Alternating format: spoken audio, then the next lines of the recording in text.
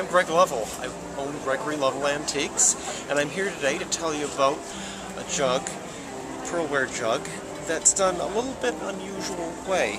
Usually with a lot of these, you're going to find that if you've got this type of pink luster and enameling on the top, the whole jug will be enameled. Either that, or in the case of this jug, you'll see that you've got what's called a transfer. And these romantic patterns that were transfer printed on were very common at that time.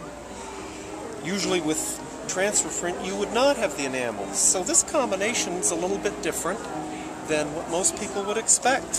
What it's was nice it made? Jug. This would have been made in the 1820s and of course in England. Many of these were made for the American market. They were very popular over here.